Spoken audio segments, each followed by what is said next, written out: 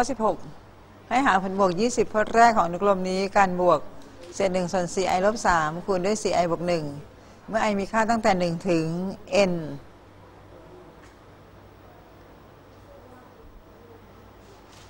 คราวนี้เราต้องเปลี่ยน 4 ส่วน 4i ลบ3กับคูณกับ 4i บวก1โดยเข้าสูตรนะคะ คือแยกในรูปของผลต่างของพจน์สองพจน์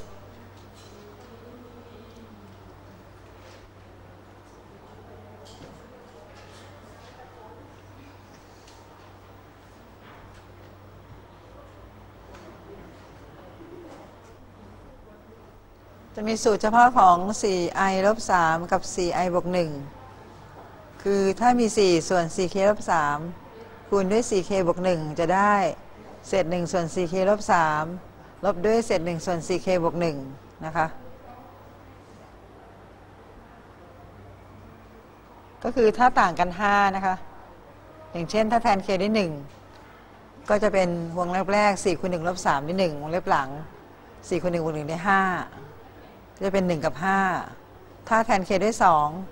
4คูณ2ลบ3ได้ 5 4คูณ2บวก 1 ได้ 9 ก็จะเป็น 1 กับ 5 5 กับ 9 ถ้าแทน k ได้ 3 3 4 12 12ลบ3ได้ 9 แล้วก็ 4 3 12 12บวก1ได้ 13 นะคะ มันลบ 3 กับบวก 1 เพราะฉะนั้นต่างกัน 4 จะเป็น 1 กับ 5 5 กับ 9 9 กับ 13 ถ้าเป็น n ก็เป็น 4n ลบ 3 กับ 4n บวก 1 นะคะ เพราะฉะนั้นเราจะแยกอันนี้ออกมาตามสูตรอันนี้นะคะ ก็คือ 4 ส่วน 4i ลบ 3 คูณกับ 4i บวก 1 จะได้เศษ 1 ส่วน 4i ลบ 3 ลบกับเศษ 1 ส่วน 4i บวก 1 sn ก็คือแทนตั้งแต่พจน์ที่ 1 ถึงพจน์ที่ n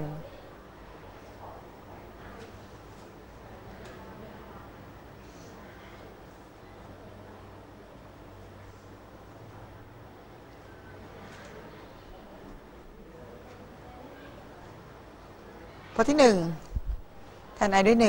1 1ลบเศษ1ส่วน5พจน์ที่2แทน i ด้วย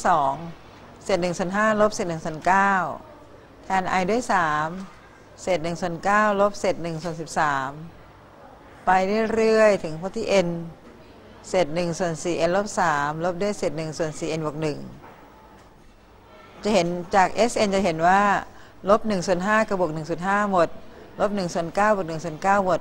อย่างนี้เรื่อยๆนะคะ จะเหลือพจน์ที่ 1 ก็คือเลข 1 และพจน์สุดท้ายก็คือลบเศษ1ส่วน 4n บวก1นั่นเองเป็น sn ถ้าหาผลบวก 20พจน์แรกก็แทน n ด้20 จะได้คำตอบ s 20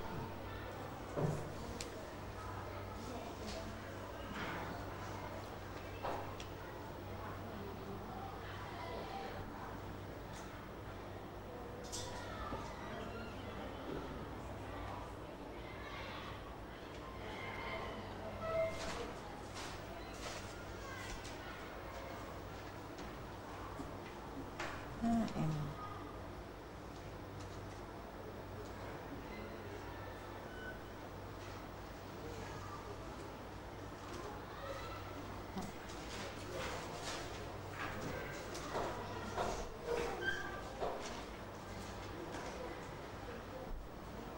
ข้ อ 17อ๋อข้อ 16 คำตอบก่อนนะคะ ผลบวก 20พจน์แรกได้ 80 ส่วน 81 ก็คือแทน n ได้ 20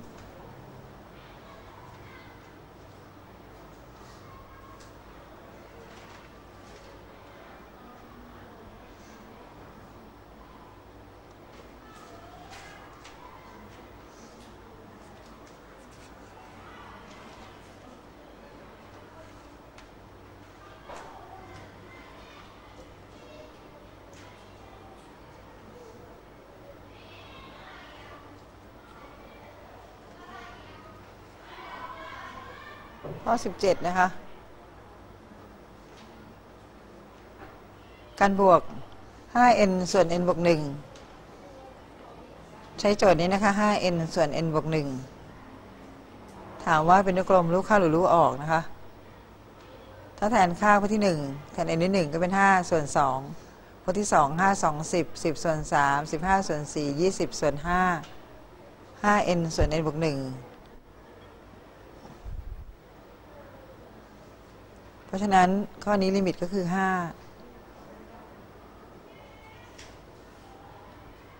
ถ้าเราเขียนในรูปของการบวกนะคะ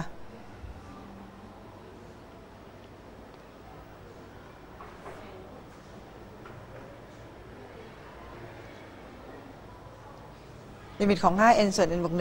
1ถ้าเราเอาดึงตัวประกอบร่วม n ออกมานะคะ ก็จะได้ 5 เพราะฉะนั้นลิมิตของ 5 ก็คือ 5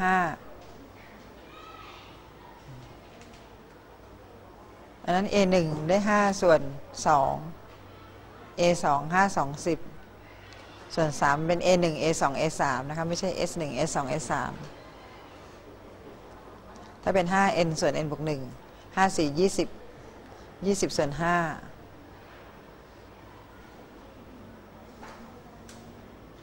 เป็นนุกลมลูกเข้า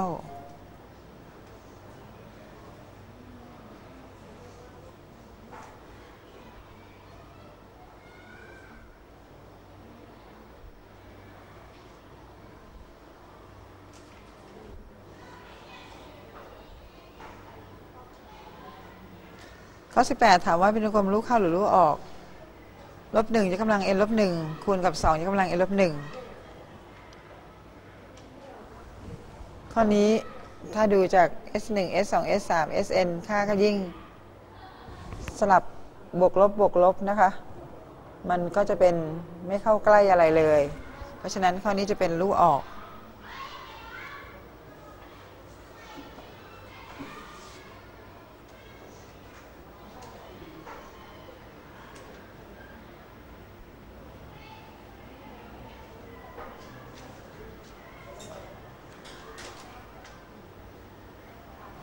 ข้อ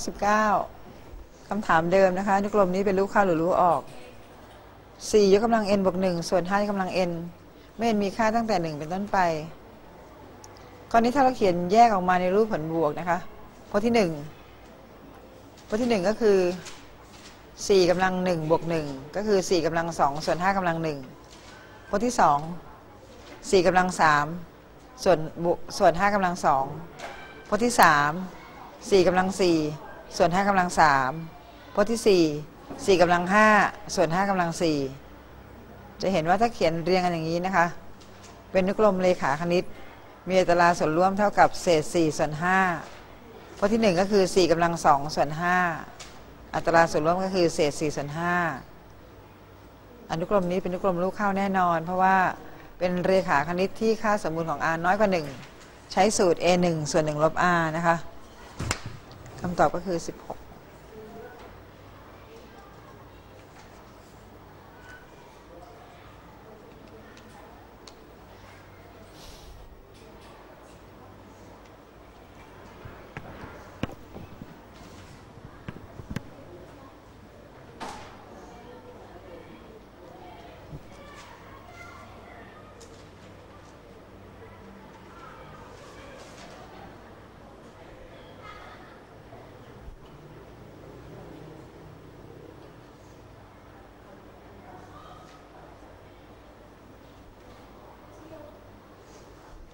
ข้อ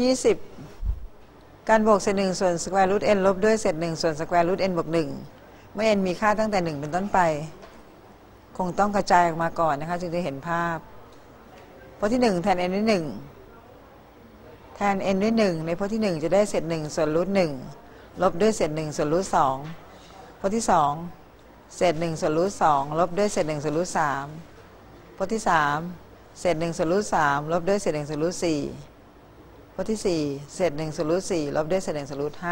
5มันก็จะบวกมาเรื่อยๆนะคะถึงพจน์ที่ n มันจะเห็นว่ามันจะตัดกันต่อๆมานะคะพจน์1ส่วนรูท2กับ1ส่วนรูท2หมดไป1ส่วนรูท3ก็หมด1ส่วนรูท4ก็หมด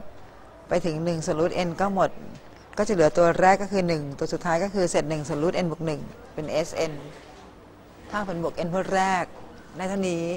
ให้หาผลบวก 20พจน์แรกก็แทน n ด้20อ๋อไม่ได้หาผลบวก n พจน์แรกหา ถามว่าเป็นลู่เข้าหรือลู่ออกพอเราทราบ sn ก็มาหาลิมิตของ sn ก็จะได้ว่าเป็นลู่เข้าหรือลู่ออกนะคะ อย่างอันนี้ลิมิตของ sn ลิมิตของ 1 ก็ได้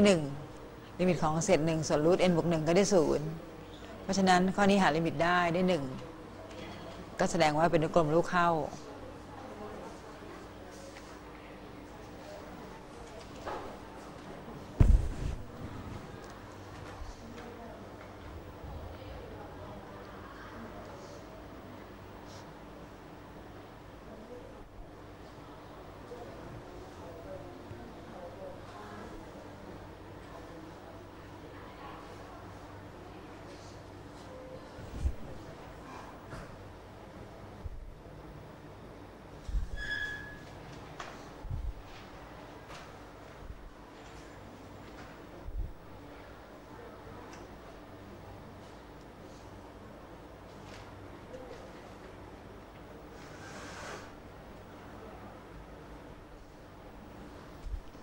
ลิมิตของ sn ก็จะได้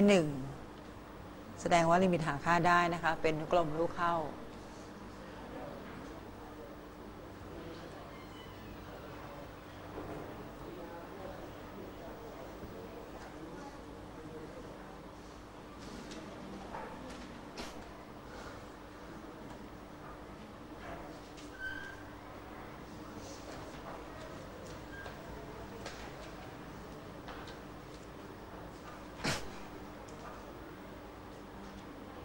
ข้อที่ 21 ข้อสุดท้ายแล้วนะคะ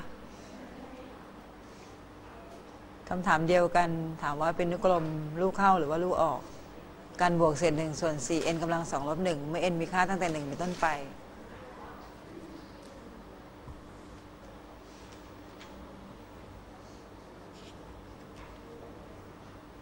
เศษ1ส่วน 4n กำลัง2ลบ1เราต้องแยก ใช้สมบัติที่เขาหาไว้แล้วนะคะ มันก็คือ เศษหนึ่งส่วนสองคูณกับหนึ่งส่วนสอง n ลบหนึ่งลบด้วยเศษหนึ่งส่วนสอง n บวกหนึ่งอันนี้ไม่ใช่นะคะ มาอันนี้ค่ะ เศษหนึ่งส่วนสี่ n กำลังสองลบหนึ่งก็คือเศษหนึ่งส่วนสองคูณกับเศษหนึ่งส่วนสอง n ลบหนึ่งลบด้วยเศษหนึ่งส่วนสอง n บวกหนึ่ง อันนี้กรณีที่เป็นเลขคี่นะคะสอง n ลบหนึ่งสอง n บวกหนึ่งก็คือหนึ่งกับสามสามกับห้าห้ากับเจ็ด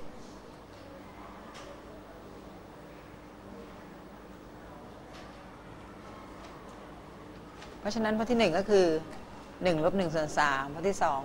หนึ่งส่วนสามลบเศษหนึ่งส่วนห้าข้อที่สามเศษหนึ่งส่วนห้าลบเศษหนึ่งส่วนเจ็ด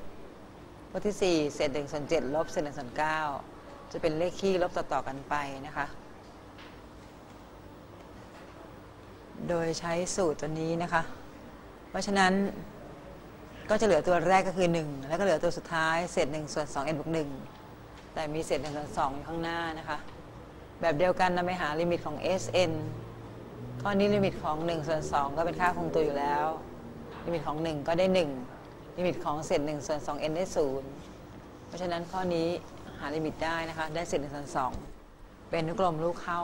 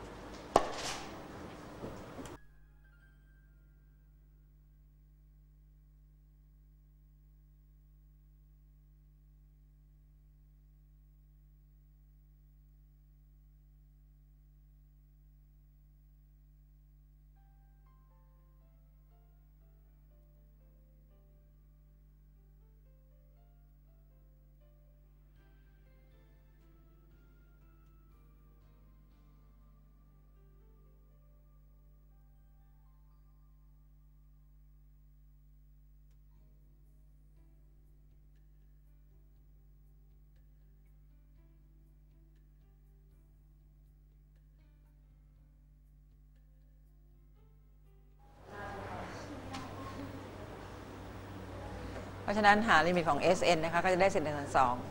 ทั้งหมดนี้เป็นบทที่หนึ่งนะคะเรื่องของลำดับแล้วก็อนุกรมอนันต์เดี๋ยวคราวต่อไปมาเรียนเรื่องลิมิตของฟังก์ชันนะคะคราวนี้สวัสดีค่ะ